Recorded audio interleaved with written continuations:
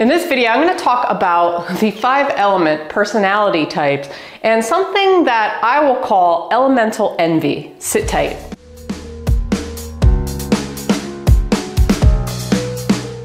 Welcome back to another video. My name is Jen Palko. Welcome to another five element video. And this one I wanted to do because um, I think that it's something that nobody's really talked about before. And what I'm going to talk about today is something that I'm going to call elemental envy.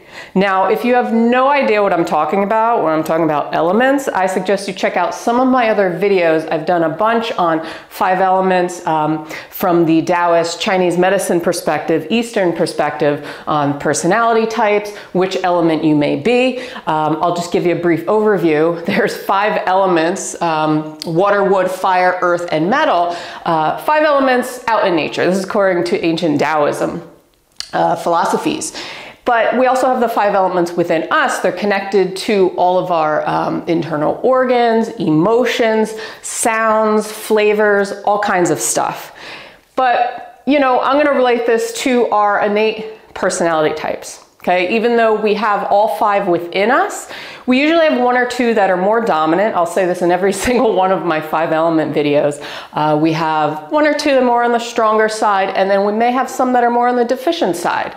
And you know, part of why I do these videos is to help people figure themselves out, to not go throughout life trying to be somebody they're not, which is kind of going to be somewhat of the basis of this video. I want people to live authentically as themselves, and part of that, um, the elements can be really helpful in uh, in finding that out, what your innate strengths and talents are. So I'll put links to all those videos below um, if you have no idea and you want to get a good baseline before we go more in depth into, into this one. So when I'm talking about elemental envy, it's pretending to be somebody that you're not, walking through life in not your own shoes per se. Now related to the elements, it's a, there's a gray area that I'm going to explain here, but it's basically say you are a strong constitutional water person and you're living your life wanting to be wood or wanting to be fire because I'll, I'll just give you the baseline that these two here um, they're more aggressive, they're more yang in energy, so they're gonna be essentially more in line to our go, go, go, do, do, do culture. And I see this a lot where people are in careers or people are trying to um, keep the pace to something that they can't keep the pace to because they get burnt out and they wonder, why am I burnt out? Okay, so there's a gray area between nourishing all of your elements in a healthy way to try and have them as balanced as they can be versus the unhealthy pattern of thinking of not accepting yourself for who you are, not even recognizing what your innate talents and strengths are. So I'll give you a little example, personal experience, okay? I tend to be, not in my videos so much, but more on the fire deficient side, okay? These guys aren't very strong for me, more yang. I'm more, um, like introverted, more into my earth, metal, water, okay, especially.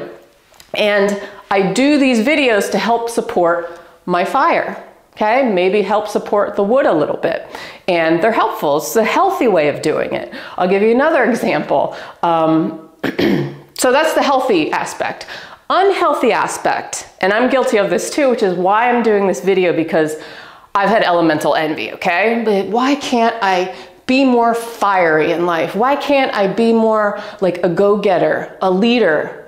Because that's not me. So when I was growing up, I was shy. I was a quiet kid and I'd always take to heart when people are like, why? Why are you so quiet? And that stuck with me throughout life. And I thought of it as a flaw. I'm like, oh, I wish I could be more fiery, more sociable, more extroverted.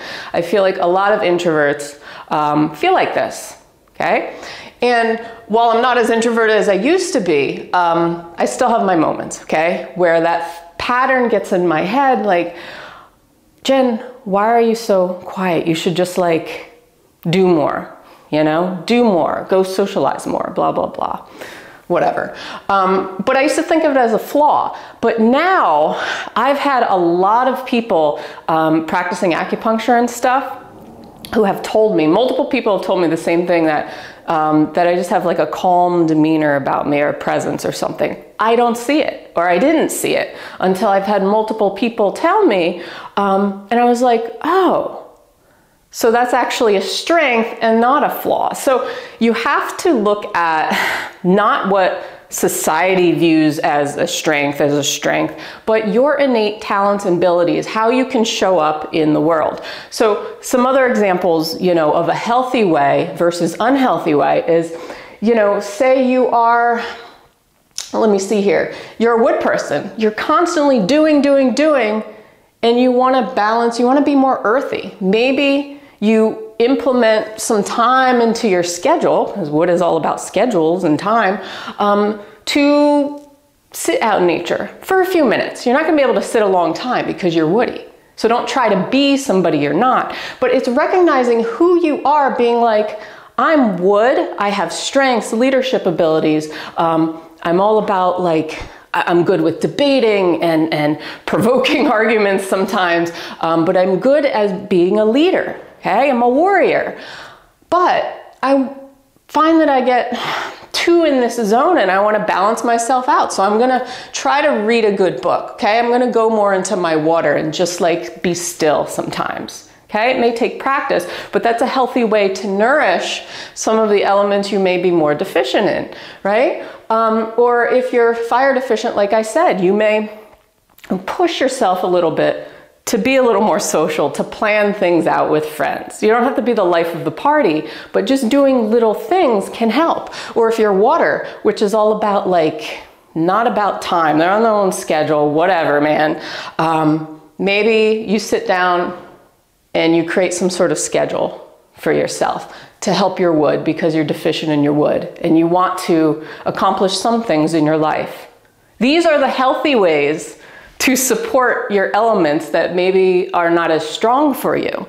But the unhealthy aspect I want to go into um, is the the inability to accept ourselves for who we are, the inability to realize um, our strengths as strengths we don't recognize them because we're trying to fit into the mold of other people or um, trying to go, go, go when, you know, realize if you're a water and earth person and you're trying to fit into the shoes of a wood, being a wood person, say in a job, for example, you're going to wonder why you're burnt out over time because you don't work that way. You can't skip meals. You need rest and recharge. So that's how you work. And that's perfectly fine. You can work but then you need a break here and there. You can work, but then you need a break.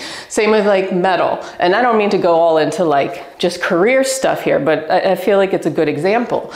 If you're metal, you may like to work alone. Um, you don't like a lot of like team building stuff and meetings and all kinds of things.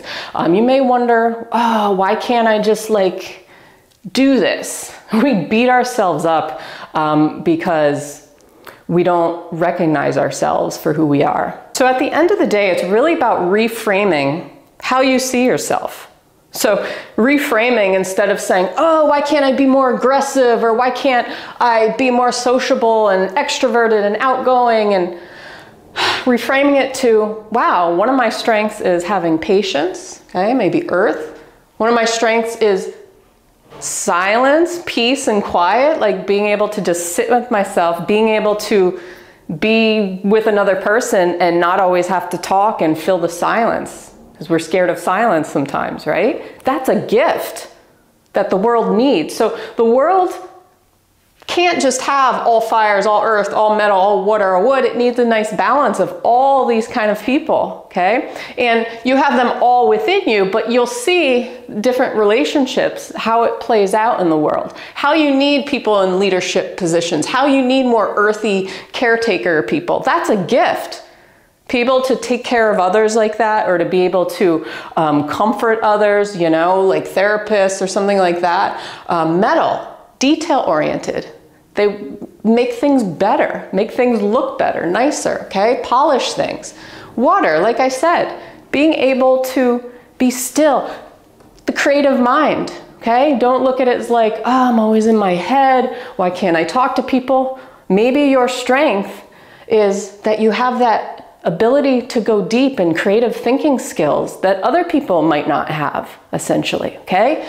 Maybe you can get it on paper, you can write it down, you can become an author. Like, there's so many things about you that you may not recognize. And part of that is going back to maybe when you were a kid, what you like to do, um, because the world will shape us as we go through it and we fall into um, different positions and situations and relationships that can mold us a certain way. But, you know, this is all a circle. It's, it's called the reversal, essentially, in, in Taoism where you know this is, is pre-birth and birth and then we go around the cycle back into ourselves it's really profound if you think about it you know a fire person we need those fun like people comedians for example in the world right so there's so many different innate gifts and talents um, that we have that often we don't recognize as gifts or talents,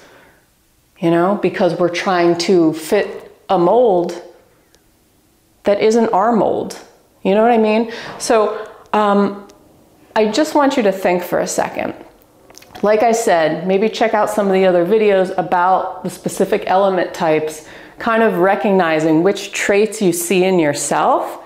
And I hope one day a little light bulb goes off in your head and says, wow, maybe I'm not where I should be or supposed to be, or, um, you know, everything's in, in kind of divine timing in life. So even though you're, you're somewhere that you find isn't fitting or aligning to you, it doesn't mean that it's not like a little detour into something else opening up for you. That's all I'm saying. So don't look at that as a flaw, like, oh, my life is ruined because I went down this path instead of this one, which is more aligned to my true nature. No.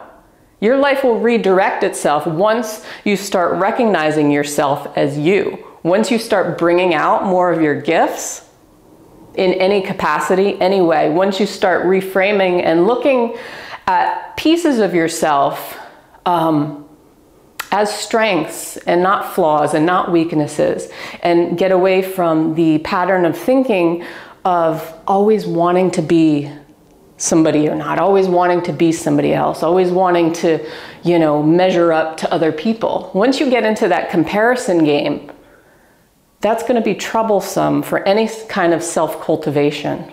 Okay, so it's getting back to yourself. It's recognizing what your strengths are, recognizing that they are in fact strengths and implementing them or um, showing up in the world as you.